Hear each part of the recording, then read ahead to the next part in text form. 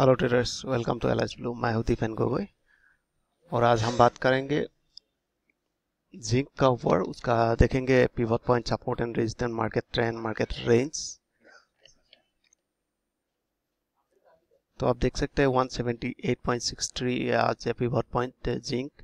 और first resistance 180.16 first resistance the second resistance 182.93 and the third resistance 184.46 and the first support 175.86 second support 174.30 and the third support 171.56 तो यहाँ पे देख सकते हैं ये जिंक तो जिंक कंटिन्यूस आप देख सकते हैं लास्ट फ्यूरियस डाउन ट्रेंड में है।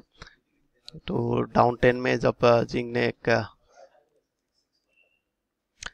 एक रेंज में था तो रेंज अब देख सकते हैं यहाँ पे ब्रेकआउट हुआ था।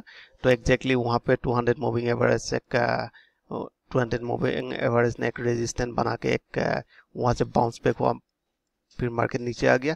तो मुझे लगता है थोड़ा बहुत ऊपर जाएगा, फिर से एक करेक्शन देना चाहिए। तो जैसे जहाँ पे ब्रेकआउट किया था एक ट्रेन में तो एग्जैक्टली यहाँ पे एक स्ट्रॉन्ग रेजिस्टेंस मिला तो रेजिस्टेंस से फिर से मार्केट नीचे आने का चांसेस है। तो आप अगर आपको एंटी करना है तो आप एंटी कहाँ कर सकते हैं? तो मार्केट थोड़ा ऊपर जाएगा, जब 200 मूविंग एवरेज का आसपास आ जाएगा 200 और 150 एक साथ में लगा हुआ है, अभी देख सकते हैं।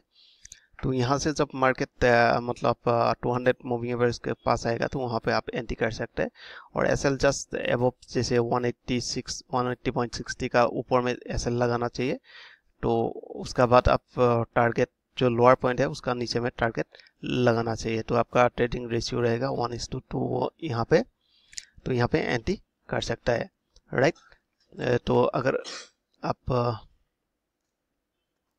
प्रीवियस मार्केट बिहेवियर को देख सकते हैं तो आप देख सकते हैं पहले यहाँ से जब ब्रेकआउट किया था 200 को तो फिर से 200 का ऊपर मार्केट ऊपर आसपास गया हुआ है, एक रेजिस्टेंस बना हुआ है।